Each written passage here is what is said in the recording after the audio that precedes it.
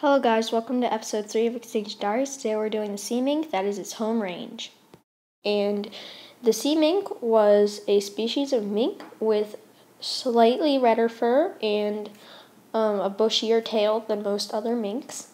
And they were the largest species of mink, and also their coat was a lot coarser and denser than that of many other species of mink, making them highly desirable to traders.